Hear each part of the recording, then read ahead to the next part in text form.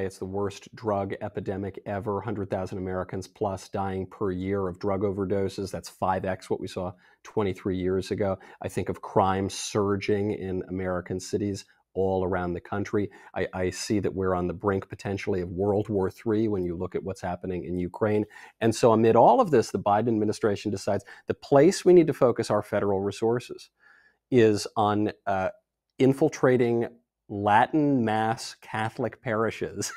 where people are just trying to go to mass on Sunday. This is a little bit of a personal story for me because yeah. I attend a Latin mass parish and mm-hmm. I can tell you it the parishes are filled with violent extremists because the Latin mass going Catholics, they tend to have a lot of children, a lot of toddlers shrieking, yelling, crying. It's it's very extreme and sometimes violent.